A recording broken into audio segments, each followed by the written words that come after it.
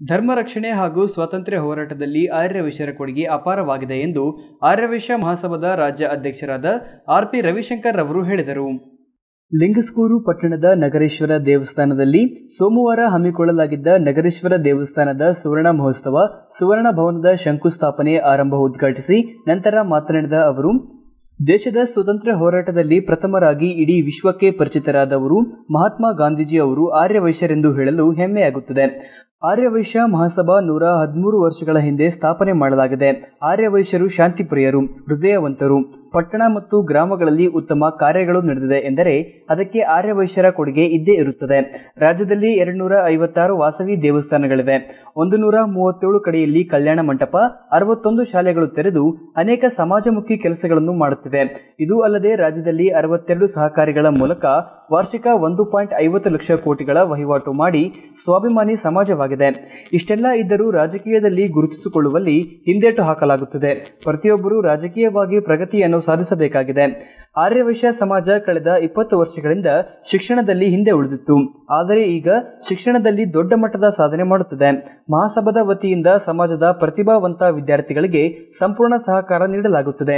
IPS, IAS ಹಾಗೂ ಇನ್ನಿತರೆ ಸ್ಪರ್ಧಾತ್ಮಕ ಪರೀಕ್ಷೆಗಳಿಗಾಗಿ ವಾಸವಿ ಅಕಾಡೆಮಿಯನ್ನು ಸ್ಥಾಪನೆ ಮಾಡಲಾಗಿದೆ.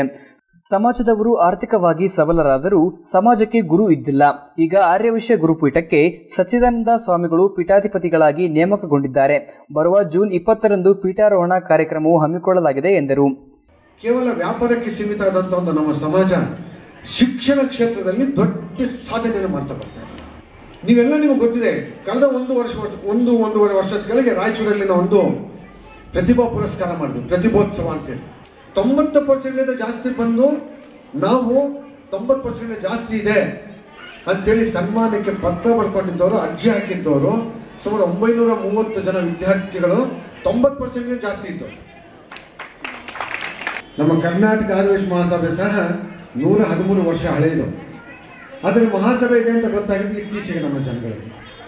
ನಾವು ಯಾರು ಬರ್ತೀವೋ ಬಿಡ್ತೀವೋ, ದೇವ್ರಿಗೆ ಇಷ್ಟು ಕೆಲಸ ಆಗಲೇಬೇಕು ಅನ್ನೋದಾದ್ರೆ ಐವತ್ತು ವರ್ಷಗಳಿಂದ ಇಲ್ಲಿನ ಆಡಳಿತ ಮಂಡಳಿ ಅದನ್ನು ಸಕ್ರಮವಾಗಿ ನಡೆಸ್ಕೊಂಡು ಬರ್ತಿದ್ದೆಲ್ಲ ಅವ್ರಿಗೆ ತಮ್ಮೆಲ್ಲರ ಪರವಾಗಿ ನಾನು ಆರ್ಥಿಕವಾದ ಅಭಿನಂದನೆಗಳು ಸಲ್ಲಿಸ್ತೇನೆ. ಈ ವೇಳೆ ವಾಸವಿ ಚರಿತೆ ಕೃತಿಯನ್ನು ಡಾಕ್ಟರ್ ಕೆ. ಶಶಿಕಾಂತ್ ರವರು ಬಿಡುಗಡೆಗೊಳಿಸಿದರು. ಮಹಾಸಭಾದ ರಾಜ್ಯ ಉಪಾಧ್ಯಕ್ಷ ಕುಂಟ್ನಾಳ್ ವೆಂಕಟೇಶ್, ತಾಲೂಕು ಅಧ್ಯಕ್ಷ ಪ್ರಹ್ಲಾದ್ ಶೆಟ್ಟಿ ಕೊಂಪಲ್, ಹಿರಿಯ ಸಾಹಿತಿ ಗಿರಿರಾಜ್ ಹೊಸಮನಿ, ಮಹಾಸಭಾದ ನಿರ್ದೇಶಕರಾದ ಜಗದೀಶ್ ಗುಪ್ತಾ, ವಾಸು ದೇವನಪಲ್ಲಿ, ಬದ್ರಿನಾರಾಯಣ್ ಮುದ್ಗಲ್, ಪುರಸಭೆ ಮುಖ್ಯಾಧಿಕಾರಿ ವಿಜಯಲಕ್ಷ್ಮಿ ಜಂಬಯ್ಯ ಮಸ್ಕಿ ಸೈಯದ್ ಪಾಷಾ ರಾಘವೇಂದ್ರ ಮಸ್ಕಿ ಮಂಜುನಾಥ್ ಕಾಮಿನ್ ನಾಗರಾಜ್ ಸೇರಿದಂತೆ ಅನೇಕರು ಇದ್ದರು.